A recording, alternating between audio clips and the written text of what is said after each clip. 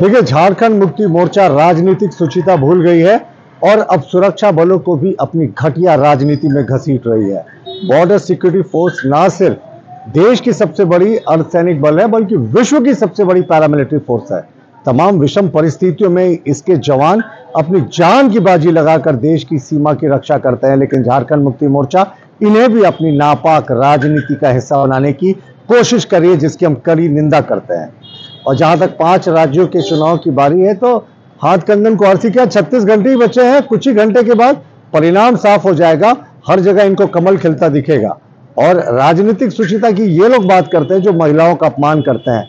और दूसरे पाँच राज्यों की चिंता छोड़कर झारखंड मुक्ति मोर्चा को झारखंड की चिंता करनी चाहिए, जहाँ अब इनके सत्ता में जाने में सिर्फ़ चंद महीने बचे हैं, और जैसा जनता का मूड इनका सुपड़ा साफ़ होने वाला है।